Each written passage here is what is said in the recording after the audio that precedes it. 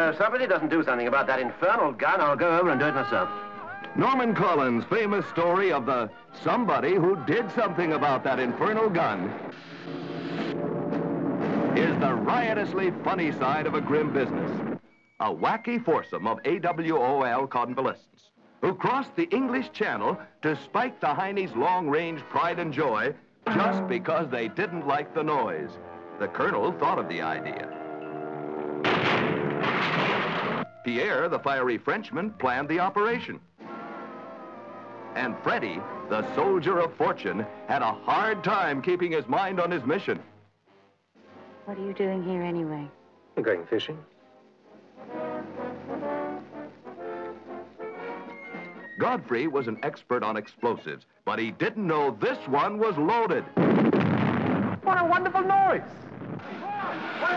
It's war, all right, but not like the history books tell it.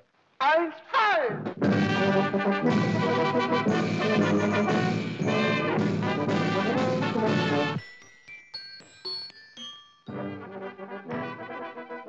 A hilarious four-star comedy event that piles thrills upon laughs in a side-splitting furor of fun fireworks.